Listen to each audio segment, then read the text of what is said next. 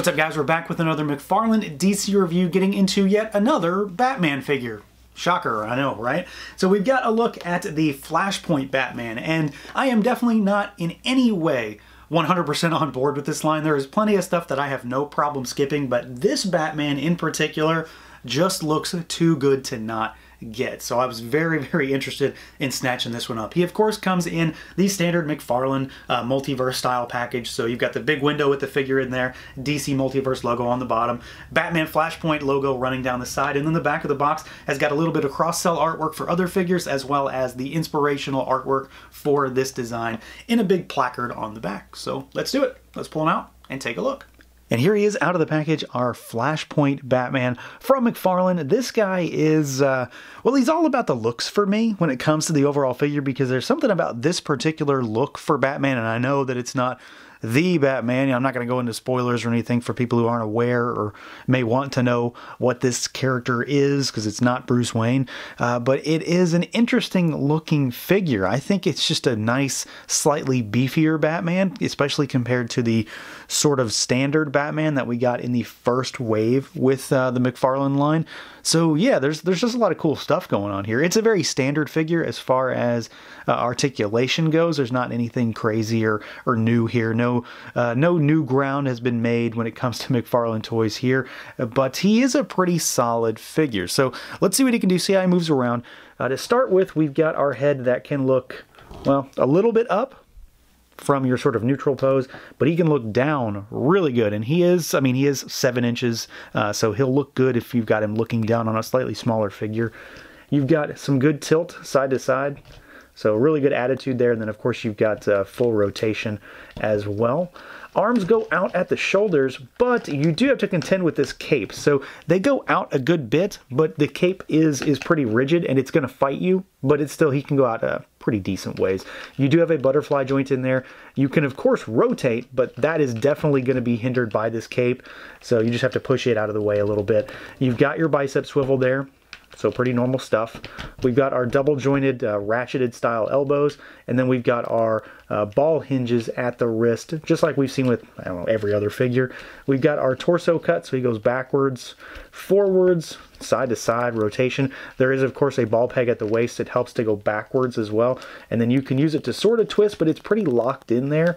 Uh, so he doesn't twist too, too far at that ball down there, but you can use it to help him go backwards a bit more and to aid a little bit further uh, when it comes to crunching him forward as well. There is your normal McFarlane thighs, so he goes out that far, uh, about that far. They go forward about all the way. You do have to rotate them a little bit. And of course, there is no thigh swivel, so you'd have to extend them to twist, but it's not going to help you at all. I really, Really wish there was a thigh cut on this figure. I know that he can do it, or he, I say he, because Todd puts his name, his name all over this stuff. But McFarlane Toys can do it. They did it with the uh, armored Azrael uh, figure, so they can do it here too.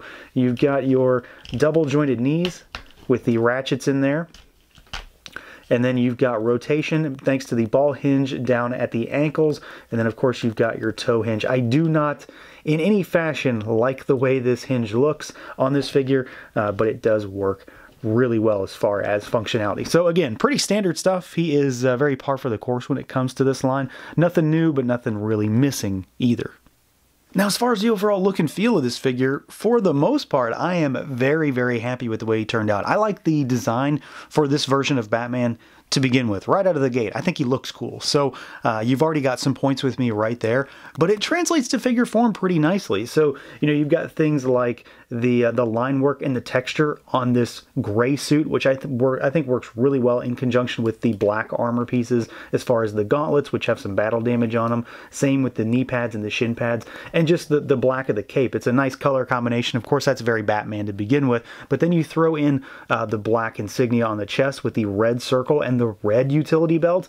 Something about that just just works for me at a at a base level. I think it looks cool, and then of course you've got the two holsters for Batman's guns, which of course are interesting uh, when it comes to a Batman figure, especially for someone who doesn't really know what in the world is going on too much with this figure or this version of the character. I love the spikes on the cape. I think the overall drape that the cape has and how it hangs, the wrinkles, the overall texture, despite the fact that it is a fairly rigid plastic cape, does look really good. Uh, it's not the same type of finish as the gauntlets, uh, the armor as well, so it's a little bit more matte, not necessarily as uh, shiny, which works okay because this is armor. It's likely metal in some fashion or something like that, carbon fiber, things of that nature. I do think the overall sculpt detail is very much there. The one area that I really don't like, and I've already mentioned it, are these ankles. They are functional, but I think they look just ridiculous because you've got that huge chunk that's just missing there.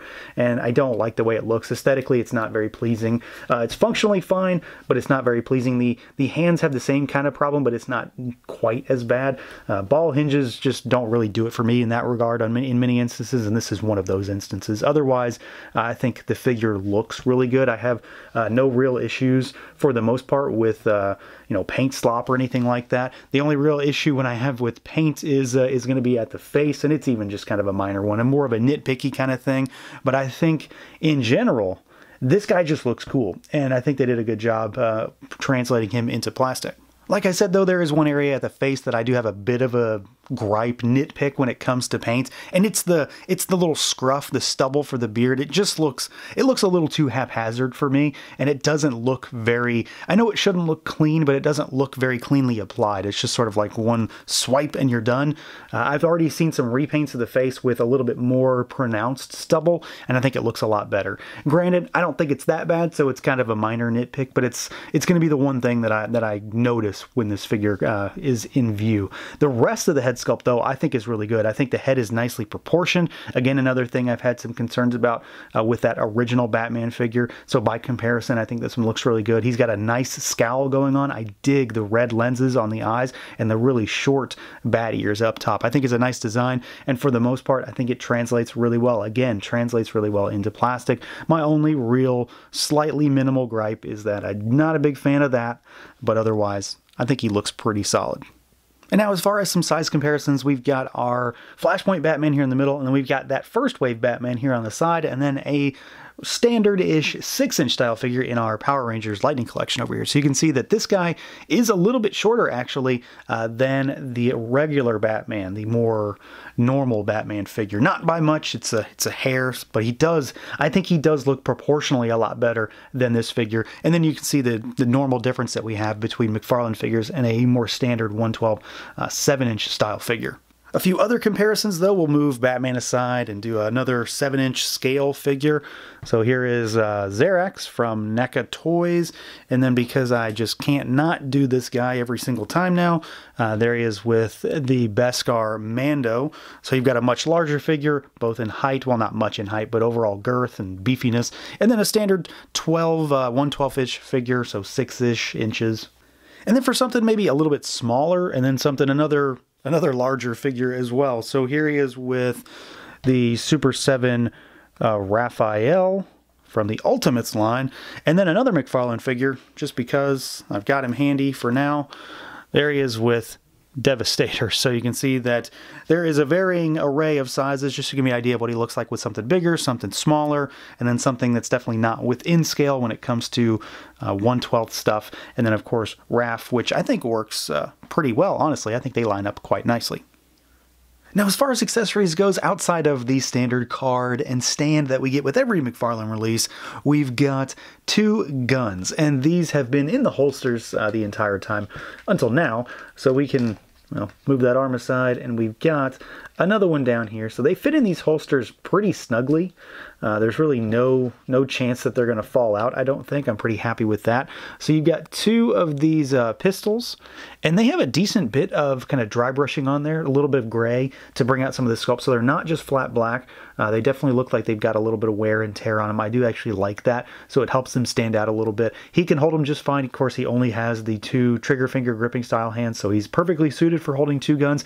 The grip is pretty tight as well, so I don't think they're going anywhere no matter what. So he doesn't come with a lot of stuff.